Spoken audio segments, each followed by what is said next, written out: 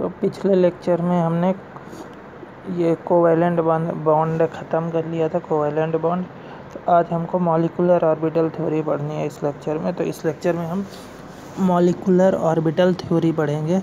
तो कंस तो हम मॉलिकुलर ऑर्बिटल थ्योरी में bonding anti bonding molecular orbital को जानने के लिए एक बार देख लेते हैं।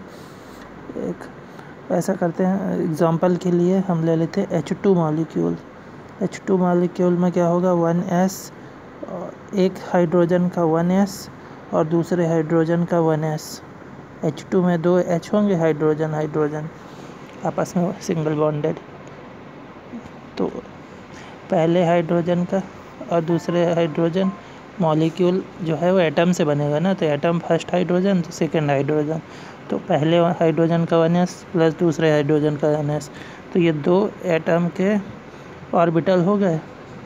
अब ये दोनों जब, दोनों ऑर्बिटल, दो मॉलिकुलर ऑर्बिटल बनाएँगे। एक को बोलेंगे बॉन्डिंग मॉलिकुलर ऑर्बिटल और दूसरे को बोलेंगे एंटी बॉन्डिंग मॉलिकुलर ऑर्बिटल।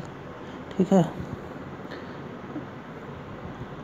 तो जब वन एस और वन एस ऐसे होता है कि इलेक्ट्रॉन जब ये लो, ये जो लूप है, इसका साइज़ बढ़ जाएगा और दोनों न्यूक्लियस के बीच में रहेगा तो इसे बोलेंगे बॉन्डिंग मॉलिकुलर ऑर्बिटल और जब ये न्यूक्लियस होगा, दोनों न्यूक्लियस के बीच में एंटी बॉन्डिंग में रिपल्सन होगा तो ये बोलेंगे एंटी बॉन्डिंग मॉलिकुलर ऑर्बिटल इसके सिग्मा इसको सिग्मा वन से सिग्मा वन एस लिखते हैं और इसका सिग्मा एंटी बॉन्डिंग को सिग्मा स्टार वन एस बोलेंगे, ठीक है? तो अब एक बार देख लेते हैं। कि बॉन्डिंग और एंटी बॉन्डिंग को ऑर्बिटल को मोल दिखाते कैसे हैं? तो जो मॉलिक एटॉमिक ऑर्बिटल दोनों एच एच के होगा ये पहले एच का, एक एच का ये है और एक हाइड्रोजन का ये है। दो हाइड्रोजन के दो एटॉमिक ऑर्बिटल हो गए। एक पहला तो इसमें एक इलेक्ट्रॉन आएगा, इसमें भी एक इलेक्ट्रॉन आएगा। अब मॉलिकुलर ऑर्बिटल एक बनेगा एक बनेगा जिसको बोल देंगे बॉन्डिंग मॉलिकुलर ऑर्बिटल इसको सिग्मा वन एस बोलेंगे। एक होगा सिग्मा वन एस स्टार ये एंटी बॉन्डिंग मॉलिकुलर ऑर्बिटल है। और यहाँ एनर्जी लेवल के हिसाब से दिखाया गया, देखो, ये एनर्जी है, ये एनर्जी है, ठीक है? तो जो एटॉमिक ऑर्बिटल है, उसकी एनर्जी जो है बॉन्डिंग मॉलिकुलर ऑर्बिटल से ज़्यादा होती है। दोनों हाइड्रोजन एटम है तो दोनों की एनर्जी सेम होगी। ठीक है। लेकिन इसकी जो मॉलिकुलर ऑर्बिटल जो मॉलिक्यूल एच टू बनेगा एच और एच से एच टू मॉलिक्यूल बनेगा तो इसमें जो बॉन्डिंग मॉलिकुलर ऑर्बिटल होगा, उसकी एनर्जी दोनों एटॉमिक ऑर्बिटल से कम होगी, इसीलिए इसको नीचे दिखाया गया और जो एंटी बॉन्डिंग होगा, इसकी एनर्जी ज़्यादा होगी, दोनों से तो इसीलिए इसको ज़्यादा दिखाया गया तो बॉन्डिंग मॉलिकुलर ऑर्बिटल जो होता है, उसकी एनर्जी कम होती है और एंटी बॉन्डिंग मॉलिकुलर ऑर्बिटल की एनर्जी ज़्यादा होती है। किससे? एटॉमिक ऑर्बिटल से। ठीक है, जिससे वो जनरेट होते हैं। अब ये लिखा हुआ है, यही same N two one S atomic orbital coming closer to each other two molecular orbital will form मतलब दो एटॉमिक ऑर्बिटल का एक दूसरे के सा, सामने आए तो दो मॉलिकुलर ऑर्बिटल फॉर्म हुए।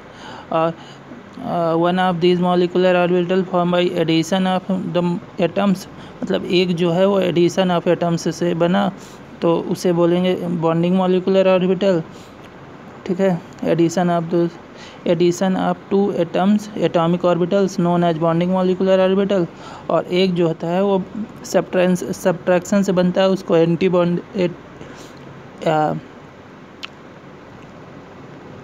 इसको बोलते हैं, क्या होता है bonding molecular orbital concentration of electron between the regions of nuclei hence placing electron in this molecular orbital makes molecule more stable मतलब क्या है इसका कहने का? कि जैसे बॉन्डिंग मॉलिकुलर ऑर्बिटल बनता है, पिछली तो यहाँ एक न्यूक्लियस होता है, एक न्यूक्लियस यहाँ होता है। तो जो जो इलेक्ट्रॉन होते हैं विन्यास, वो यहाँ पे हो जाता है बीच में। तो इसी वजह से यहाँ इलेक्ट्रॉन या न्यूक्लियस दोनों के बीच में अट्रैक्शन इधर भी अट्रैक्शन तो इसी वजह से ये बॉन्डिंग मॉलिकुलर ऑर्बिटल जो होते हैं, इन, इनमें electron between region both nucleus मतलब बोथ न्यूक्लियस के बीच में इलेक्ट्रॉन होते हैं। इसीलिए ये स्टेबल मॉलिक्यूल बनाते हैं। स्टेबल मतलब ऑर्बिटल होते हैं। मोर स्टेबल हो जाते हैं, ठीक है? और in other molecular orbital are formed by subtraction of atomic orbitals मतलब दूसरा जो बनता है वो सब्ट्रैक्शन की वजह से बनता है। मोलिकुलर ऑर्बिटल जो बनता है, दूसरा वो सब्ट्रैक्शन एटामिक ऑर्बिटल्स के सब्ट्रैक्शन की वजह से बनता है। Subtraction atomic orbitals form other is known as anti bonding molecular जो सब्ट्रैक्शन से बनता है, उसे एंटी बॉन्डिंग मॉलिकुलर ऑर्बिटल कहते हैं। Anti bonding molecular orbital concentration electrons from region between both nuclei so placing an electron in orbital makes a molecule less stable मतलब क्या है? सब्ट्रैक्शन से बनता है। तो एक ऐसे यहाँ पे न्यूक्लियस ये न्यूक्लियस है। ठीक है?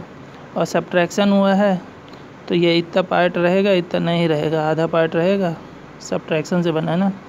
और इधर भी ऐसे ही तो यहाँ भी आधा पार्ट रहेगा, आधा नहीं रहेगा, ये न्यूक्लियस और इलेक्ट्रॉन जो है वो यहाँ पे होता है, इस न्यूक्लियस के इस साइड में, यहाँ भी न्यूक्लियस के इस साइड में। तो मैं दिखाता हूँ, पीछे। ये देखो एंटी बॉन्डिंग ना, ये एंटी बॉन्डिंग तो इसमें सबसे नीचे देखना, ये जहाँ पे मैं चला रहा हूँ। टिक लगा रहा हूँ एंटी बॉन्डिंग तो इलेक्ट्रॉन कहाँ पे होगा? एक इलेक्ट्रॉन यहाँ पे होगा और एक इसका यहाँ पे, इसका यहाँ पे अंदर होंगे मतलब। सॉरी, ये बाहर बना रहा हूँ मैं। अरे यार।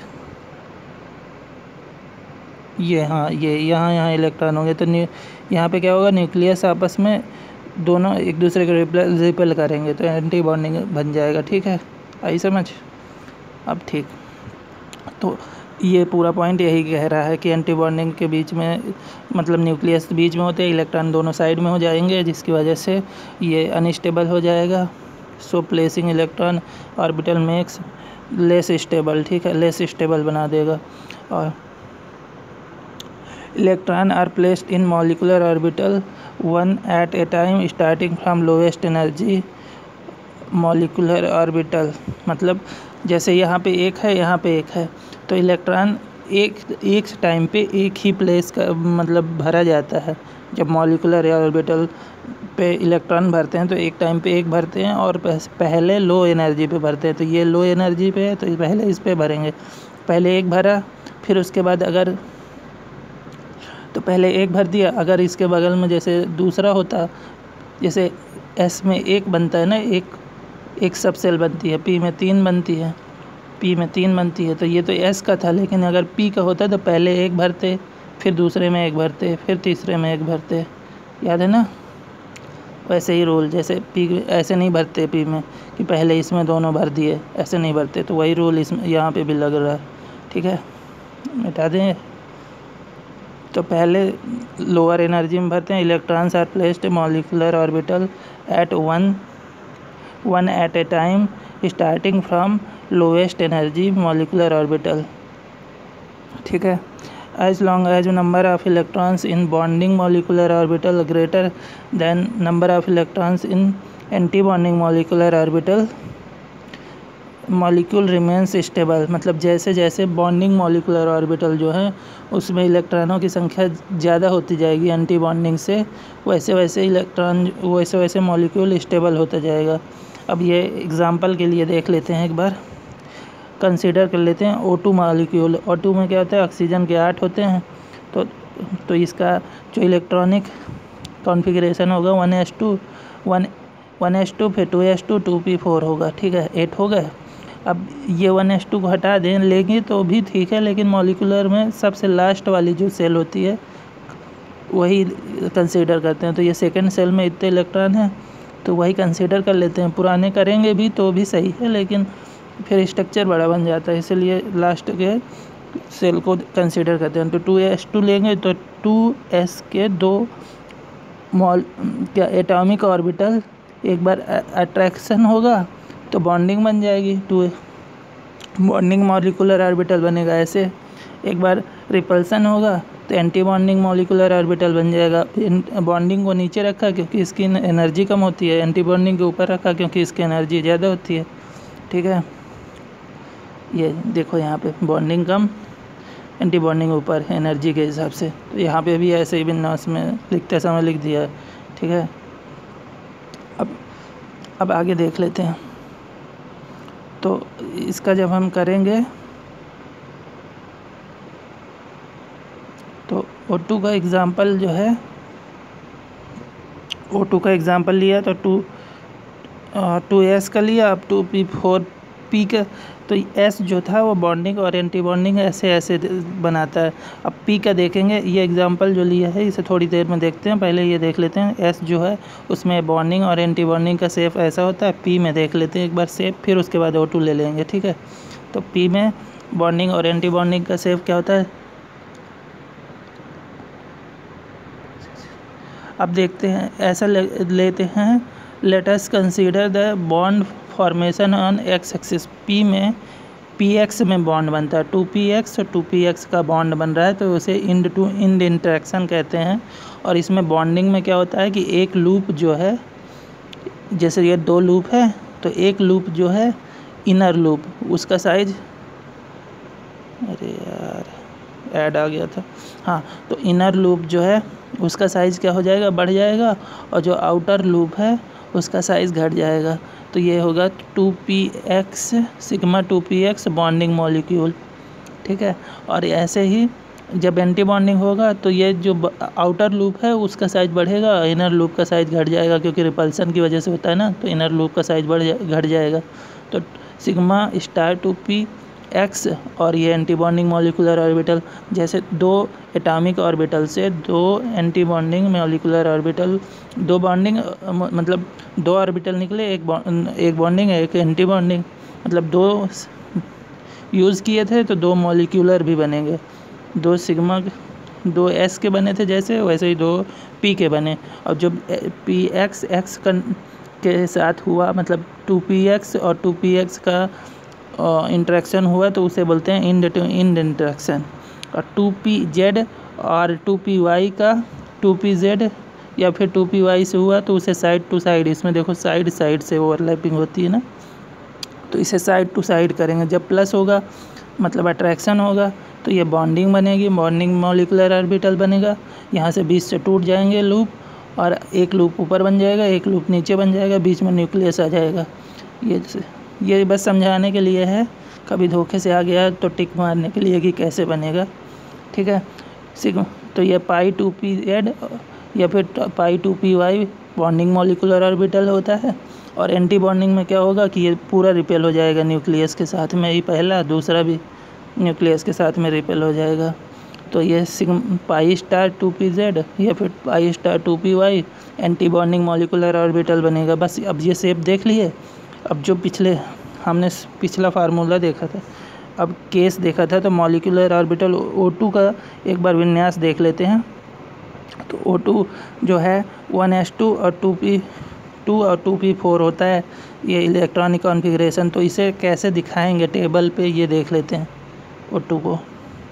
ठीक है, ये देखेंगे तो O2 को हम टेबल पे दिखाएँगे तो एक बार वन एस नहीं लिया क्योंकि वन एस लास्ट कोर्स नहीं है। तो वन एस नहीं लिया टू एस से लेते हैं। तो टू एस में और पहले पहले ओ टू है तो पहला एटम ओ का इधर होगा, एक ओ का एटम इधर होगा। ऑक्सीजन एक इधर होगी, एक इधर होगी। इधर के वाले के पास भी आठ इलेक्ट्रॉन है और इधर वाले के पास भी आठ इलेक्ट्रॉन है। तो टू एस को टू एस को दो दिए। अब आठ में से वन एस जो होगा, यहाँ नीचे कहीं होगा, वो हमने लिया नहीं है वन एस वन एस इसका भी वन एस तो यहाँ पे वन एस को दो दे दिए हैं, अब इसके पास सिर्फ़ छः बचे हैं। इसने भी वन एस को दे दिए हैं तो इसके पास भी छः बचे हैं। अब छः में से टू एस टू एस से इसलिए दिखा रहे हैं क्योंकि ये लास्ट लास्ट वाले लास्ट सेल है। लास्ट सेल ही कंसिडर करते हैं हमेशा, क्योंकि इलेक्ट्रॉनिक बिज़नेस तो बहुत बड़े बड़े होते हैं ना। तो अगर पूरा दिखाने लगेंगे कहीं बत्तीस, तैंतीस हो गया, उसका दिखाने लगे तो बहुत बड़ा हो जाएगा, इसलिए लास्ट सेल कंसिडर करते हैं हमेशा। तो टू एस के छः हैं तो अब टू छः बचे हैं लास्ट में लास्ट सेल पे। तो टू एस के दे दिए टू एस को दे दिए तो दो इलेक्ट्रॉन एक ऊपर को भर दिया, एक नीचे को डाल दिया दोनों। ठीक है? गलत मतलब निकलना एक वन एस ऊपर हो गया, एक वन एस को नीचे हो गया। एक वन एस ऊपर, एक वन एस ऊपर। अब यहाँ पे दो इससे चले गए, दो इसके अब चार बचे हैं तो पहले एक भरा, फिर एक भरा इसमें, फिर एक भरा पी में। अब इसमें डबलिंग हो गई सिंगल सिंगल सब में भर गया। इसी तरह से इसमें भी पी एक्स में भरा, फिर पी वाई में भरा, फिर पी जेड में भरा, फिर इसके भी डबलिंग हो गई। ठीक है? समझाना पड़ रहा है थोड़ा सा ठीक है? तो इसी तरह इनमें इनमें कर दिया विन्यास जैसे करते थे, क्योंकि ये तो एटॉमिक है ना एटॉमिक ऑर्बिटल हैं। ये दोनों एटॉमिक ऑर्बिटल हैं, और क्या? और ये अब मॉलिक्यूल जब ओ टू बनेगा तो उसमें कैसे विन्यास होगा, ये देखने वाली बात है। तो ये एक मॉलिक्यूल ये और ये ऑर्बिटल जो है एटॉमिक ऑर्बिटल एक बॉन्डिंग बनाएँगे, एक एंटी बॉन्डिंग तो ये बॉन्डिंग वाले की एनर्जी कम तो ये नीचे आएगा, ठीक है? तो ये नीचे आएगा बॉन्डिंग का तो इसमें सिग्मा टू एस बनेगा और इसमें सिग्मा स्टार टू एस बनेगा। और यहाँ पे तीन, यहाँ पे पी के हैं, तीन यहाँ पे पी के हैं तो छः हैं टोटल तो सिग्मा टू पी एक्स और pi two p y pi two p z ये दोनों जो है वो एंटी बॉन्डिंग के, ये दोनों बॉन्डिंग के हैं सॉरी ये दोनों बॉन्डिंग के हैं तो ये नीचे आएँगे. पाई टू पी एक्स सबसे कम होगा, फिर ये दोनों की एनर्जी पाई की इन दोनों की एनर्जी बराबर होती है तो ये दोनों साथ में होंगे. फिर उसके बाद pi pi star two p y pi star two p z की एनर्जी कम होती है तो ये दोनों यहाँ पे आ गए. और इसके बाद sigma star two p z जो होता है, इसकी एनर्जी सब में ज़्यादा होती है तो ये ऊपर चला गया। अब जो है लोएस्ट एनर्जी से भरना चालू करेंगे। तो इनमें क्या होगा कि ये दो और ये दो, चार चार इलेक्ट्रॉन हो गए। तो पहले एक भरा, फिर इसी में दो डबलिंग हो गई। फिर उसके बाद इसमें एक भरा, फिर इसी में डबलिंग हो गई। ठीक है तो ये चारों भर गए यहाँ पे। मैं हटा देता हूँ थोड़ा सा। हाँ अब देखो। अब इसके बाद यहाँ पे चार इलेक्ट्रॉन है, यहाँ पे भी चार इलेक्ट्रॉन है। अभी इसमें पहले एक भरा लोएस्ट एनर्जी पे, फिर दूसरा भर दिया। क्योंकि आगे नहीं है। तो दो चले गए, अब बचे कितने? छः बचे हैं। तो पहले एक भरा, फिर इसमें एक भरा, फिर इसमें एक डबल कर दिया, इसमें भी डबल कर दिया। फिर उसके बाद अब चार छः ख़त्म हो गए, दो बच्चे हैं बस। तो पहले एक इसमें भरेंगे, फिर एक इसमें भरेंगे बस। उसके बाद डबलिंग के लिए इलेक्ट्रॉन ही नहीं है बस, इसकी मोलिकुलर ऑर्बिटल ख़त्म। अब इसमें क्या है?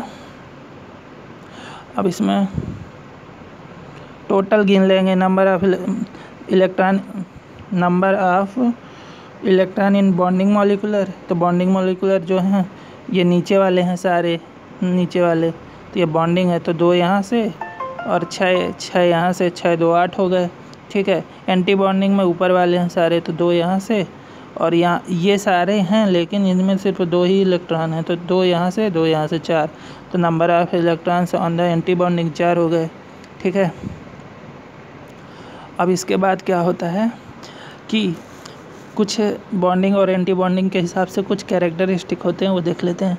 तो diamagnetic results when there are all pairs electron in molecular orbitals मतलब जो मॉलिकुलर ऑर्बिटल हैं, यहाँ पे देखो, यहाँ पे जो मॉलिकुलर ऑर्बिटल हैं, अगर उसमें सारे के सारे इलेक्ट्रॉन पेयर्ड हैं तो वो डायामैग्नेटिज्म होगा। अब यहाँ से, यहाँ तो पेयर है, यहाँ भी पेयर्ड है, यहाँ पेयर यहाँ पेयर्ड है, लेकिन यहाँ पे पेयर्ड नहीं है। इसीलिए O2 जो होगा, वो डायामैग्नेटिक डायामैग्नेटिक नहीं होगा, ये पैरामैग्नेटिक होगा, क्योंकि इसमें इलेक्ट्रॉन पेयर्ड नहीं है। ये लिखा हुआ है, ये पॉइंट ठीक है? तो O2 O2 ये रहा। Diamagnetism results when there are all paired electrons in molecular orbital मतलब ऑर्बिट मॉलिकुलर ऑर्बिटल में सारे के सारे अगर पेयर्ड हैं। Paramagnetism result when there is unpaired electron in molecular orbital paramagnetism result होता है जब कुछ अनपेयर्ड हो। तो ये पैरामैग्नेटिक हो गया ना। और एक पॉइंट पीछे पढ़ा था, वो भी देख लेते हैं। लास्ट वाला ये। As long as number of electron on the bonding molecular orbital greater than the number of electron on anti bonding molecular orbital the molecule become stable मतलब स्टेबिलिटी चेक करनी है तो जितना इनका डिफरेंस आएगा, बॉन्डिंग मॉलिकुलर और non bonding molecular का, उतना ही स्टेबल होगा। तो कंपैरिजन आएगा अगर कि किसकी कितनी स्टेबिलिटी है तो ये पूरा कॉन्फ़िगरेशन करेंगे और उसके बाद बॉन्डिंग और एंटी बॉन्डिंग का दो डिफरेंस होगा। उसके हिसाब से जिसमें ज़्यादा डिफरेंस वो उतना स्टेबल हो जाएगा। ये एक तरीका है, आगे ठीक है? तो इस लेक्चर में इतना ही रहने देते सॉरी